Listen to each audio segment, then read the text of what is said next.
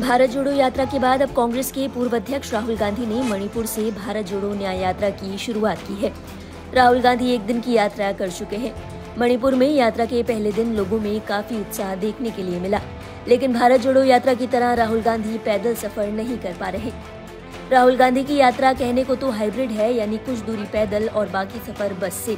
लेकिन मणिपुर में सुरक्षा कारणों से उन्हें बस से ही ज़्यादातर सफ़र तय करना पड़ रहा है।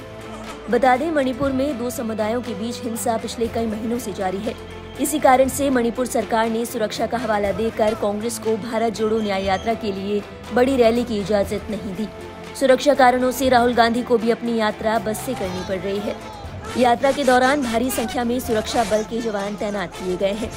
यात्रा के पहले दिन जब राहुल गांधी अचानक बस से उतरकर लोगों से मिले, तब सुरक्षा में तैनात जवानों के हाथ पाँव फूल गए। राहुल गांधी को बस से उतरता देख जवानों ने उन्हें तुरंत बस में वापस जाने के लिए कहा।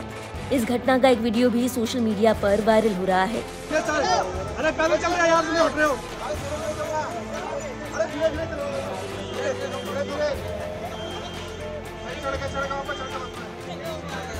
सिक्योरिटी ने मना कर दिया।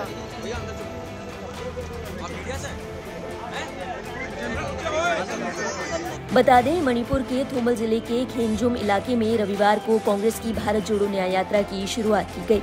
कांग्रेस अध्यक्ष मल्लिकार्जुन खड़गे ने राहुल गांधी को तिरंगा सौंपकर पंद्रह राज्यों से गुजरने वाली इस यात्रा की अगुवाई की ज़िम्मेदारी सौंपी। ये यात्रा 6,713 किलोमीटर की दूरी तय करने के बाद 20 मार्च को मुंबई में समाप्त होगी। इस दौरान राहुल गांधी 60 से 70 कांग्रेस नेताओं के साथ बस से ही ये दूरी तय करेंगे। प्रमुख जगहों पर राहुल गांधी पैदल मार्च भी करेंगे।